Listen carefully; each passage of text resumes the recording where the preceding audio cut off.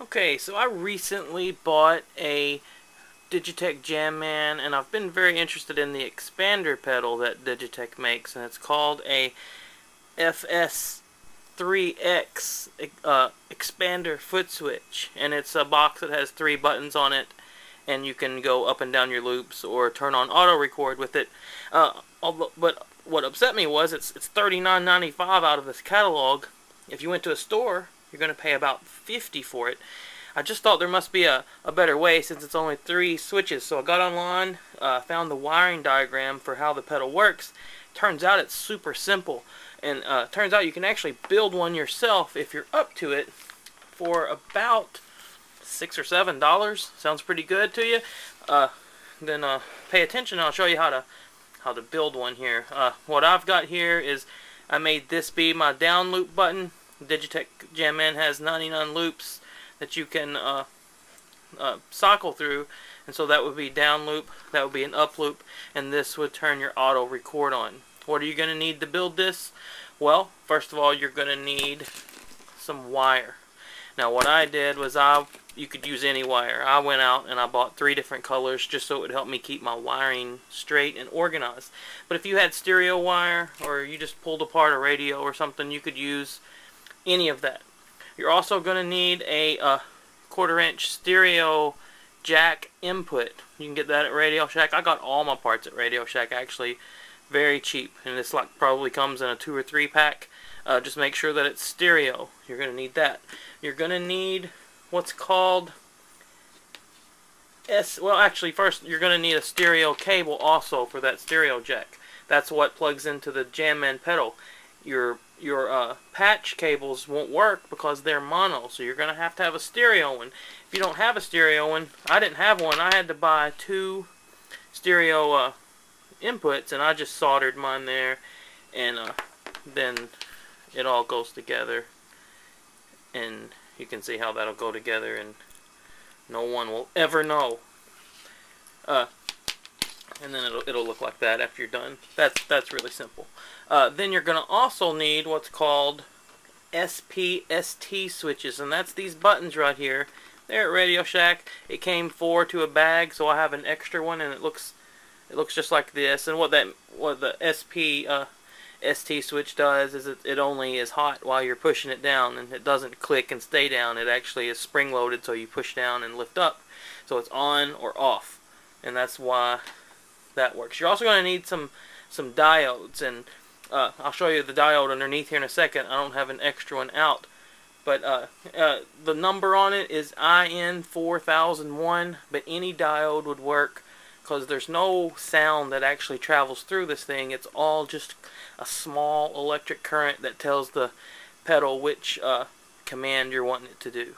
Okay, if you're wondering what these things are here, uh, I, I thought originally that I wanted my three pedals to be in line with each other, and then I decided one of them staggered, and I'd already drilled the holes, so I just glued some white plastic circles that I had uh, on there just for cosmetic reasons. Okay, you're also going to need an enclosure. What kind of an enclosure can you use? Well, you know, I didn't even buy this one. I just went to my kitchen drawer and pulled out the old kitchen organizer. So that was what I had all the rubber bands and toothpicks and stuff in. And I still have the stickers in there. Safety pins, flashlight, all that kind of stuff. Okay, uh, how did I wire this thing together?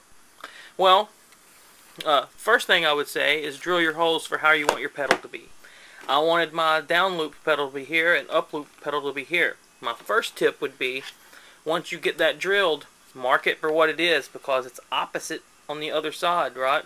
This is now the up pedal and the down pedal. I got mixed up on mine and had to redo it uh, the first time. Okay, so let's look at the wiring diagram and see what we got here, how I started. I first drilled the hole for the jack input.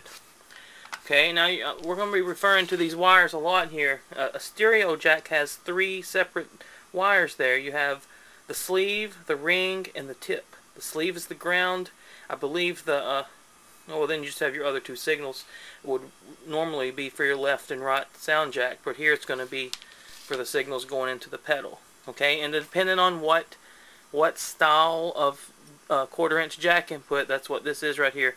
you'll have to figure out which one of these solder points goes to that particular spot of this. Okay, but for my case here, to, I'm going to start with the ground. What I did was, I now used black wire for the ground, okay? Soldered onto my ground point, the black wire. I come all the way over here and I drilled holes through my walls of my organizer so the wires would be contained. Black comes all the way over here, straight to my up button, soldered onto one of the posts. It doesn't really matter which post you solder that first wire onto. Just choose one. Okay, and then I daisy chained, which means I soldered another black wire straight onto that same post, and then it goes all the way over, all the way over to the down button. Then I daisy chained another black wire onto the same post for the ground, all the way over to the auto record button. And then that's where that line stops. So the ground actually just daisy chains to all of the buttons, so everything is grounded. okay, now I used green and red for my other two lines, okay? And the green I used for the ring, which is the middle signal of the jack, okay? So the green comes soldered onto that post there, coming all the way over cleanly to the down button, soldered onto the opposite post from the ground. Daisy, daisy chained a green right on there with that one, that I'm going to come over here, but before I get to the up button, that's where I've soldered on this diode. Okay, a diode, actually, and that's what it looks like. And I told you the, the number that I used was IN4001. Anything around there would be fine. All a diode does is keep electric current only going one way. It's sort of a one-way door. It won't let the signal go back. And that's how it uh, can work out the little schematic here where different uh, variations of the signal are produced. And what I mean by that is the way these buttons work is if you push one button, it's going to do the tip in the ground. You push another button, it's going to do the sleeve in the ground. You do the third button, and you're going to do the tip and sleeve in the ground. And that's three totally separate little signals. Okay, so I have the diode in between the green wire between the up and down buttons and the diode signal is going towards the up button. And you'll know that because there's a little silver sleeve on your diode there that tells you which way the current goes. So let's retrace this again. Green wire coming off the off the sleeve here all the way down to the down button all the way over have a diode there with the signal going this way and it solders onto the up button okay so now we've done the green and we've done the black and that's the end of the greens run right there. Okay, now let's look at the tip. That's what we're doing right here for this one. Okay, and I used red. Red is going to come off the off the input jack there, and it's going, and it may, may actually you can see the red goes all the way first to the auto record. Solder onto the opposite post from the ground. Then it's going to continue on. Oh, there's the second diode, and the signal's going that way and the red is going to go to the up button and it's going to share the post with the green. So that means when you push the up button, you're really sending a signal out for uh, green and red. It's the up button that uses all of them together. Does that make sense? Alright, and then this one, of course, because it stops the green there, it's only sending the green back, and this one is only sending the red back.